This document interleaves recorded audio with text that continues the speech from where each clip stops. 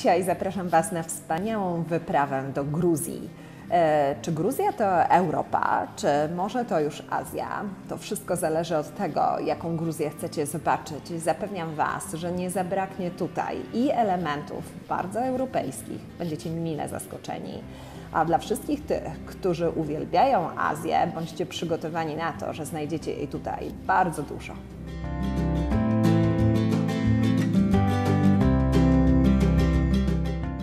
Tbilisi to cudowne miasto. To stolica, która na pewno zadowoli wszystkich tych, którzy szukają e, wielkich arterii, pięknych placów, e, chcą zobaczyć wspaniałe zabytki, spotkać się z kulturą, sztuką, architekturą.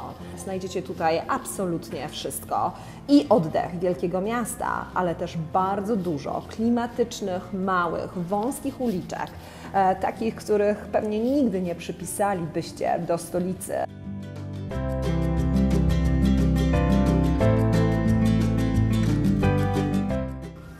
Skalne miasto Uplisikhe wpisane zasłużenie na listę UNESCO to jedna z tych atrakcji, której nie można pominąć. Leży na tyle dogodnie na trasie pomiędzy Kutaisi a Tbilisi, że aż się prosi, żeby zdoczyć kilka kilometrów z głównej trasy i obejrzeć to miasto.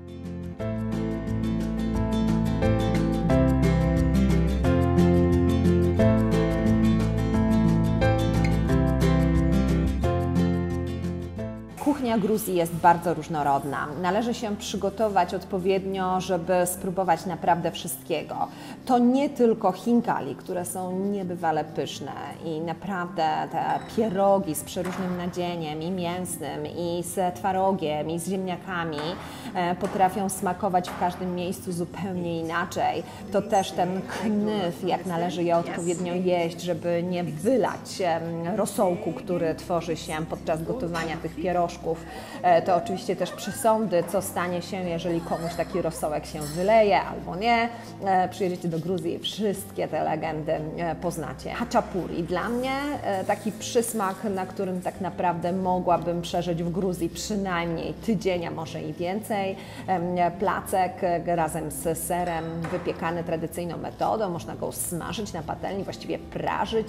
Można go też upiec w specjalnym, tradycyjnym piecu ogrzewanym drewnem nem, ale to także mięso i tego mięsa w Gruzji będzie bardzo dużo. Mięso dosyć tłuste, treściwe, na pewno szaszłyki, wszelkiej maści przygotowywane, no najlepiej gdyby były na witkach z winorośli, ale jak się nie da, to te na takim e, specjalnych grillach, które rozstawione są nawet przy drodze, są e, też bardzo pyszne. Mamy wieprzowinę, mamy wołowinę, mamy cielęcinę, mamy baraninę, która dobrze przygotowana świetnie smakuje. Nigdzie na świecie pomidory nie smakują tak jak tutaj w Gruzji. Byliśmy tutaj dużą grupą i każdy z nas wyjeżdżał z tym przekonaniem, że równie pysznych, dojrzewających w słońcu, pomidorowych pomidorów e, nie jadł nigdzie. Kuchnia gruzińska niewątpliwie e, jedna z top kuchni całego świata.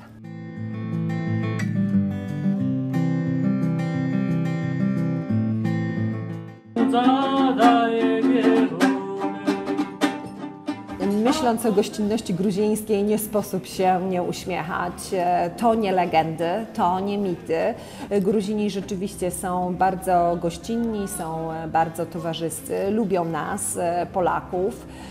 Natomiast jest to jeden z tych powodów, dlaczego warto do Gruzji wybrać się większą grupą, bo wtedy lepiej można doświadczać e, supr, czyli tych tradycyjnych gruzińskich kolacji, gdzie poza jedzeniem i taką ilością tego jedzenia, że stół ugina się od przystawek, zup, drugich dań, deserów. Jest oczywiście wino, a każdy tutejszy gospodarz ma swoje własne wino, którym będzie raczył gości do upadłego. Nie ma wody, czasami jest kompot, natomiast wina nigdy nikomu nie może zabraknąć. Jest bardzo wiele winnic na terenie Gruzji, gdzie można spróbować już wina nierzadko utytułowanego, nagradzanego w bardzo wielu mm, konkursach międzynarodowych. Jest to już wino elegancko butelkowane butelkowane. Można tam skorzystać najpierw z degustacji, żeby popróbować takiego wina, a później raczyć się kupując i zabierając je ze sobą na przykład do Polski. E, kolejnym alkoholem, bez którego no, nie można sobie wyobrazić wyprawy do mm, Gruzji, jest czacza. E, to jest mocniejszy alkohol, hmm, Pewnie obrażę go, kiedy powiem, że przypomina bimber albo samogon, ale tak naprawdę to tak jest. E, jest to alkohol pozyskiwany przy okazji produkcji wina, także też na bazie winogron. Tamada to osoba, zazwyczaj senior, mężczyzna, specjalnie do tego przygotowany, który wznosi te słynne gruzińskie toasty.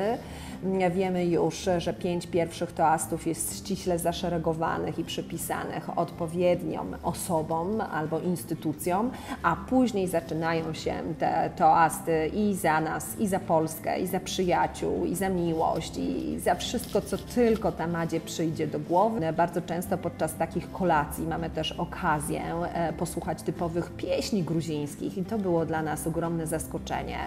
E, zapraszane osoby, to, to nie byle jacy śpiewacy, e, to nie byle jacy grajkowie, e, to osoby, które bardzo często na co dzień śpiewają w chórach i no, to było niesamowite, to były trójgłosy, to, to były pieśni, które odrywały nas od jedzenia, bo nie pozwalały skupić się na czymś innym, to były pieśni, które rozbrzmiewały w tych salach, w których jadaliśmy, wypełniając sobą dosłownie każdy kawałek, każdy fragment tego pomieszczenia.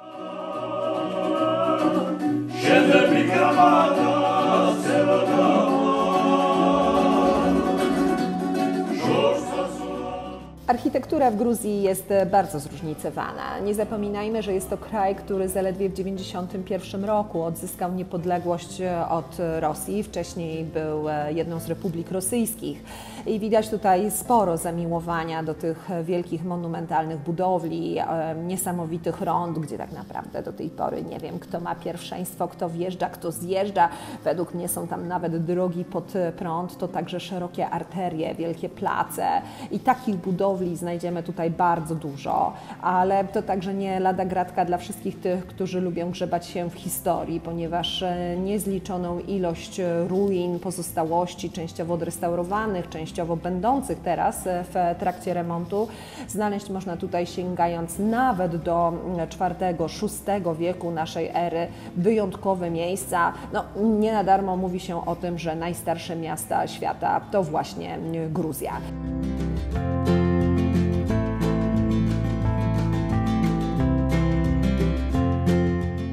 Dolina Truso to niewątpliwie jeden z mocnych punktów programu.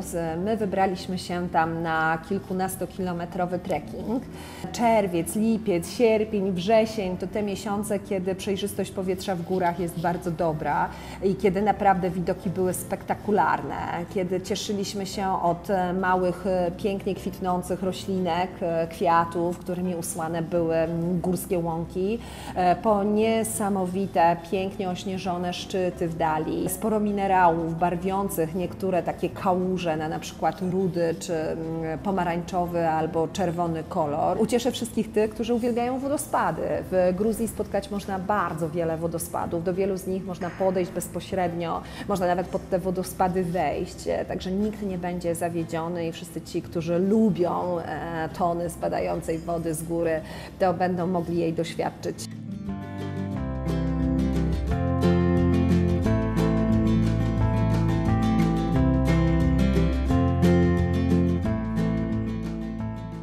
Wyprawa do Gruzji to tak naprawdę zaproszenie dla wszystkich tych, którzy nie lubią zbyt długich lotów. Pamiętajcie, że w niespełna 3 godziny będziecie już w Gruzji. Jest bezpiecznie, e, jest taniej niż w Polsce.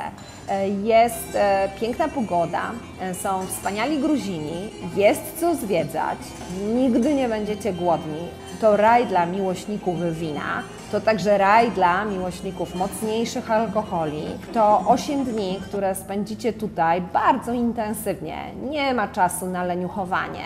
To przede wszystkim też e, takie 8 dni, które może zaowocować wielką miłością do Gruzji, a tym samym chęcią powrotu. I tu szykujemy już kolejną niespodziankę, kolejny pomysł na Gruzję, część drugą, żeby móc pokazać Wam te miejsca, których nie udało nam się zobaczyć.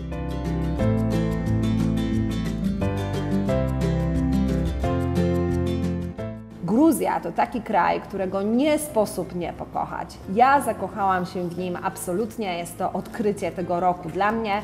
Jestem tutaj już po raz drugi i na pewno nie ostatni i wysyłam tu grupę za grupą, a każda z nich wraca zachwycona. Zapraszamy do Gruzji. Gaumarjos!